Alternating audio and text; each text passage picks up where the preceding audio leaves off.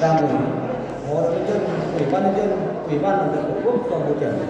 Chị bí thư các đồng chí nguyên lãnh đạo mặt trận tổ quốc các thời kỳ. Hơi ngắn nghiêng bí nghiêng thư các đồng chí trưởng khu phố bí thư trưởng khu phố và ban công tác mặt trận khu phố cùng tổng thể các đồng chí chi ủy các ban ngành đoàn thể và nhân dân trong khu phố thưa tổng thể hội nghị. Trong không khí sôi nổi cả nước tham gia các phong trào thi đua yêu nước phấn đấu thực hiện thắng lợi các mục tiêu kinh tế, chính trị, xã hội, quốc phòng an ninh của địa phương.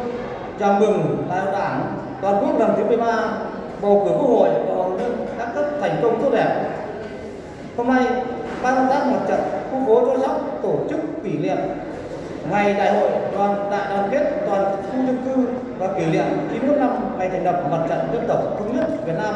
18 tháng 1 năm 1930 18 tháng 1 năm 1921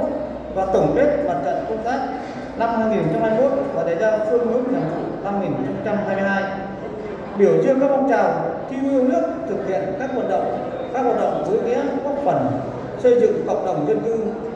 Kính thưa các quý vị đại biểu, thưa đồng hội nghị nhìn lại vào năm 2021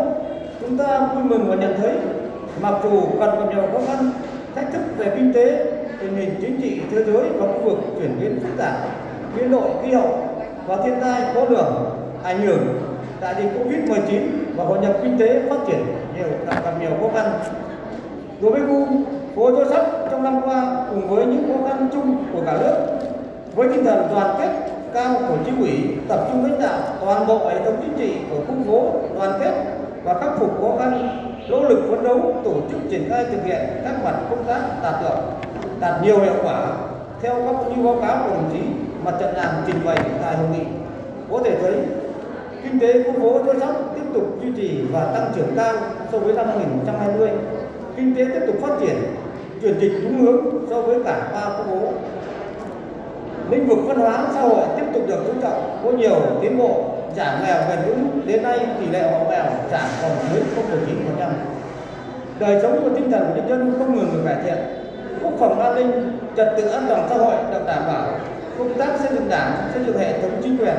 tiếp tục được chú trọng và nhiều tiến bộ. Công tác đấu tranh phòng chống tội phạm, tham nhũng thực hiện tiết kiệm đạt nhiều quả kết quả cao.